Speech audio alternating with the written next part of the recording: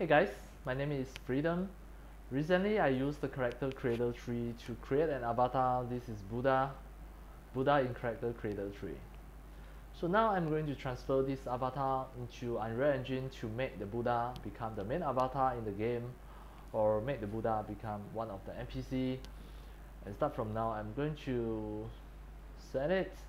First in the Character Creator 3, I will click here to send it to iClone first. Just within a few seconds, it will load into iClone 7. Now in iClone 7, what am I going to do is, I have to make sure I have the iClone Unreal Live Link plugin. This is a plugin that you must get it. If you still don't know how to install and how to set up iClone Unreal Live Link, I already put a put a tutorial you can just scroll down go to the video description. I already put a link there. So next you must open the Unreal Engine. And make sure this Unreal Engine 4.26 already completed with iClone Unreal Live Link plugin as well. Now in, I in iClone 7 first in the iClone Unreal Live Link I'm going to untick everything. Untick everything first Next, I go back to the scene and the avatar's name, I'll just press F2 to name it as Buddha01. Next, I come back to the iClone Unreal Live link here, make sure I tick Buddha01 and then I click transfer file. Once I click transfer file, it will just wait for a while. It will transfer transfer the avatar from iClone to Unreal Engines at this moment, I just need to wait until it finish transfer. Now you can see it finished transfer. Once it finished transfer, the first thing I do is the Buddha 01 skeleton, I double click in and you can see it, it is already humanoid. It automatically set as a humanoid if you can see the retarget manager. Next, I, can, I will just go to the contents, go to the mannequin. I want to make make this make this Buddha to become the main avatar, I go to the mannequin, go to the character, mesh, double click the mannequin skeletons and turn on the retarget manager. Also make sure you select rig as a humanoid rig, then you save and close. Next, you back to the character, back to the mannequin folder, double click in the animation, the third person animation blueprint, you can just right click here, retarget and retarget it. Here you choose Buddha 01 skeletons and click retarget. Now, you can just open and have a look. Next, you rename the third person animation blueprint here.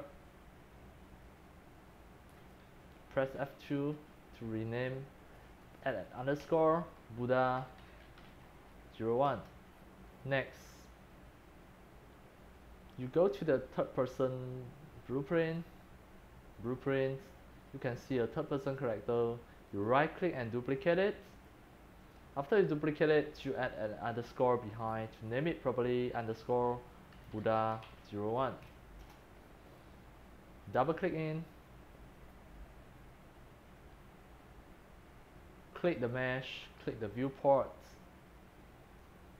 The skeleton mesh you choose as the Buddha. Buddha 01 next. The animation class you choose third person animation blueprint Buddha 01 and then script compile close. You want to make the Buddha to become the main avatar, first you have to delete the mannequin in the map. Press delete. Finally, you click edit, project setting, and click maps and modes. The default avatar is under the selected game modes. Default Pawn Class, you choose the third person character Buddha 01. It will automatically save, you just need to close. And now try to test play the game you can see now the Buddha already become become the main avatar of the game. And you can make him to become the, the NPC as well.